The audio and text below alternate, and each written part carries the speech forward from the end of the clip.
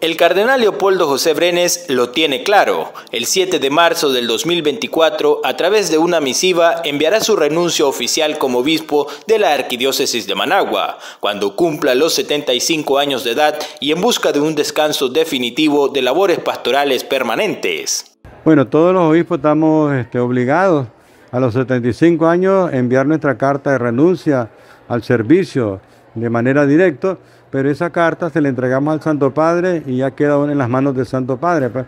Él puede eh, decirle a uno sí, ¿eh? o si no decirle, mira, te quédate otro tiempito más. Así que uno está bajo la mirada del Espíritu Santo, pero también está bajo la voluntad del Santo Padre, que Él es el que decide al final. ¿No, tiene fecha exacta usted entonces para enviarla? Bueno, yo cumplo el 7 de marzo, ¿eh? así que el 7 de marzo del 24 más o menos la vamos a enviar.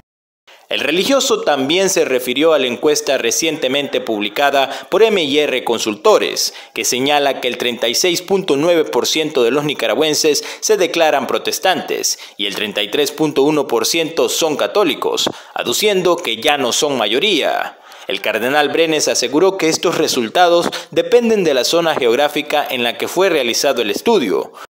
Porque a veces a quién se le consulta, pues si consultamos eh, eh, en los pueblos salimos con el 90%. ¿eh?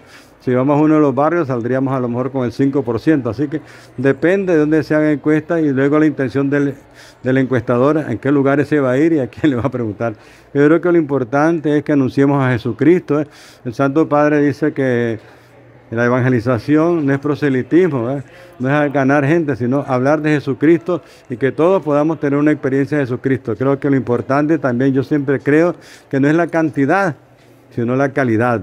En cuanto a su renuncia, el prelado no brindó indicios de las propuestas de sacerdotes que la Conferencia Episcopal de Nicaragua presentaría a la Anunciatura Apostólica del país como su posible sucesor. Lorenzo Vega Sánchez, Voz TV.